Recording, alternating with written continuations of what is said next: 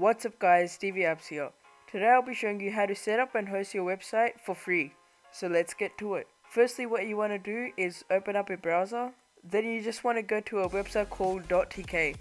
So that's D-O-T, then a dot, and then TK. And then just press enter. Then you want to think of a name that you want to use for a website.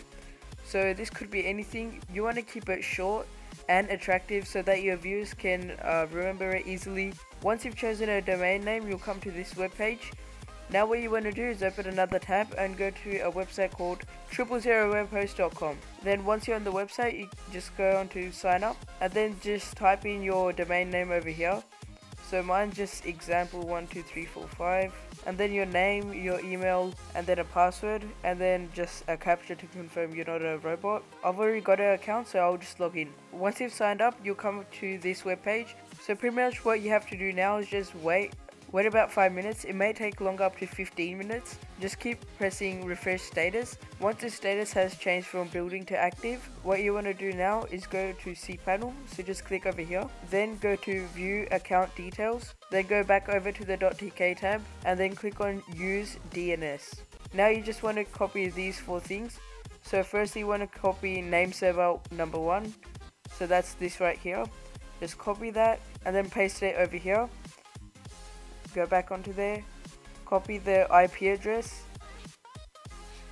and then paste it over here.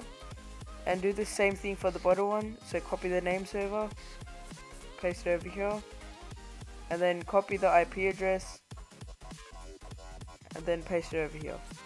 Then you want to choose your registration length. The max you can go for free is 12 months. I'll just choose 12 months and then just type in the captcha, then click on sign up. Now it's going to ask you to connect your account with Facebook or Windows Live ID. If you don't have any of those, you can just go down here where it says email address and then just click on that and then just type in your email address and then click on next. Then just type in your name and a password. Once you've typed in your name and your password, just click on create account. Once you've created an account, .tk will send a confirmation email to your email address so just go onto your email.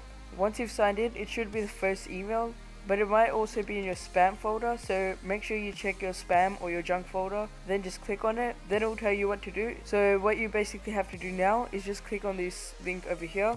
It will take you to another tab and then copy this confirmation code over here and then paste it into here and press confirm. Once you come to this web page, that means you're all done. And then all you need to do now is just wait it can take anywhere from 5 minutes to up to 1 day. For me, I've made a lot of domains and it usually takes around 12 hours. So just sit tight and just wait and then you could just upload like a HTML file or maybe install WordPress on your website.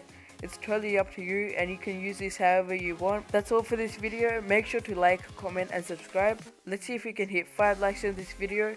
Thanks for watching. Until next time, peace.